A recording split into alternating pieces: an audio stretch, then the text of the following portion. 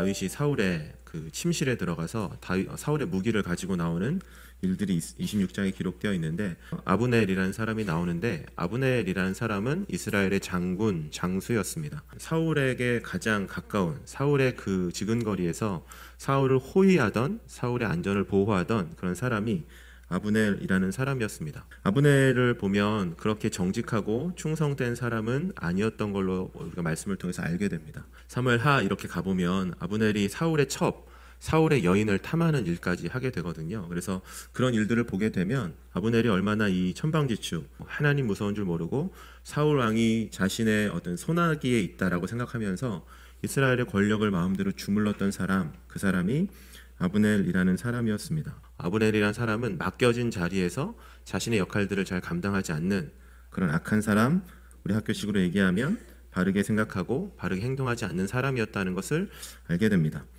어, 바르게 생각하지 않고 또 바르게 생각하지 행동하지 않는 사람들의 공통점이 있어요. 여러분 써놓으세요. 삶이 무너지면 게을러진다 이렇게 써놓으세요. 하나님과의 관계가 멀어지면 게을러진다. 저는 중요한 말이라고 생각합니다. 예, 마태복음 25장 26절 말씀에 게으름이 무엇인지를 설명해 주는 말씀입니다. 그때 주인이 대답하였다. 악하고 게으른 종아, 내가 나를 그런 사람으로 알았느냐. 다 같이 아멘. 성경이 말하는 게으름은 뭐 아침에 일어나는 것 좀 힘들어요. 뭐 이 정도의 수준은 아니에요. 가지고 있었던 일을 좀 미루는 수준이 아니라 노트에 써놓으세요. 하나님이 내게 맡겨주신 일을 하지 않는 것. 그것이 그냥 게으름이에요. 더 악한 게으름은 무엇이냐면 하지 않아도 되는 일에 목숨 거는 것. 그리고 해도 그만, 안 해도 그만인 일에 쓸데없는 일에 마음을 쏟고 살아가는 것. 이 모든 것들을 성경은 게으름이라고 어, 말하고 있다는 겁니다. 그런 의미로 보면 노트에 써놓으세요. 아브넬은 게으른 사람이었다. 게으름이 뭐라고? 해야 될 일을 하지 않고 하지 말아야 되는 일에 목숨 걸었던 사람. 아브넬을 통해서 우리가 알게 되죠. 아브넬은 다윗이 사울, 자신이 지키는 사울 왕이 잠들고 있고, 여러분 사울 왕이 잠들고 있다는 얘기는 뭐냐면 아브넬도 같이 자란 얘기가 아니라 사울 왕이 안전하게 잘 수 있도록 그것을 지키는 일, 업무를 아브넬이 봐야 되는 거예요. 다윗이 조용히 조용히 사울 왕의 침소에 들어서 사울 왕 가장 가까이에서 사울 왕의 무기를 빼앗아 가고 있음에도 불구하고 아브넬은 그것을 알지 못했습니다. 다윗이 조금 황당했던 것 같아요. 아니 내가 사울 왕의 침소에 들어서 무기를 갖고 왔는데도 불구하고 쟤네는 아무도 모르는구나 아무것도 모르는구나. 그래서 다윗이 사울 진영을 향해서 소리쳤습니다. 아브넬을 향해서 아브넬아 아브넬아 너희는 지금 뭐 하고 있냐 이렇게 소리 지르니까 14절 눈으로 밑에 보세요. 아브넬이 뭐라고 얘기했다고? 넌 누구냐 이렇게 얘기했다. 너는 누구냐? 정신 나간 사람이죠. 그래서 다윗이 다시 외쳤다. 아브네라, 너는 이스라엘에서 제일 강한 자가 아니냐? 그런데 어째서 너는 내 주 왕을 죽이려고 들어갔는데도 그를 경호하지 않았느냐? 다 같이 아멘.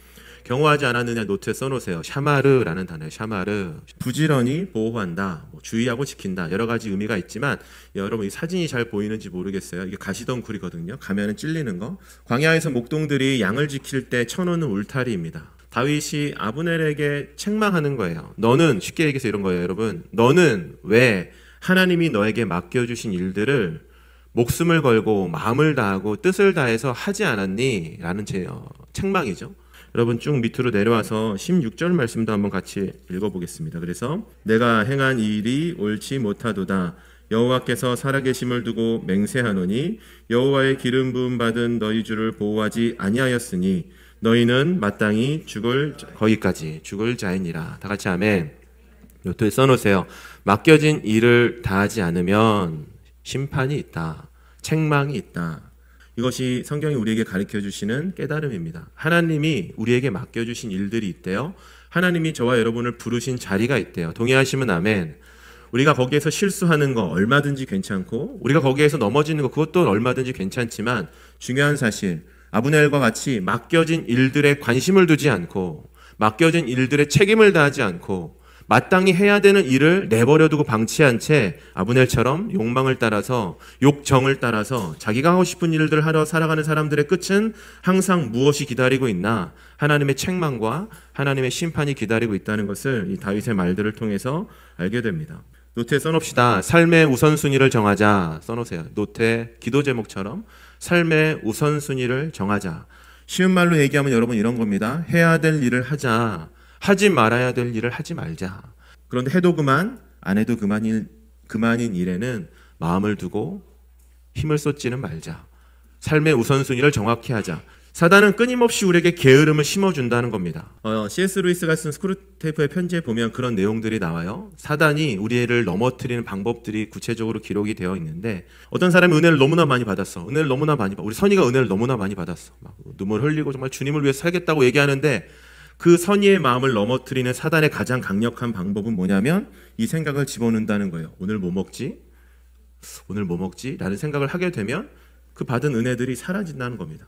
오늘 집에 가서 뭐 하지? 라는 생각들. 사단이 우리한테 그런 게으름을 심어준다는 거예요. 하나님이 기뻐하시는 곳을 바라보지 못하도록. 하나님이 우리에게 맡겨주신 일들을 하지 못하도록. 그것이 정말 중요한 일인데 그 중요한 거 말고 다른 거를 보게 하는 거. 다른 거에 우리 마음을 빼앗기게 하는 거.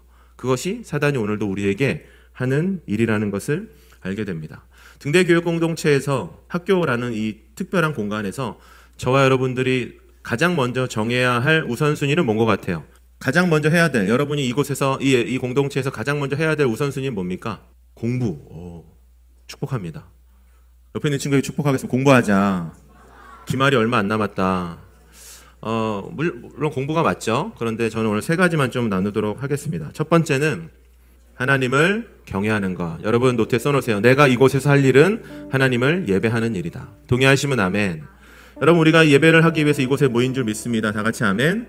세상과 다르게 하나님이 주시는 은혜 안에서 나는 그래도 다르게 공부할 거야. 그래도 나는 교과서 한 장 피기 전에 기도하면서 시작할 거야. 하루를 시작하면서 하나님 말씀을 듣고 그 말씀대로 살아가기로 결정하고 나는 이곳에 왔어. 적어도 그런 삶의 우선순위가 여러분과 저와의 인생 가운데 함께 하시기를 예수님의 이름으로 축복합니다.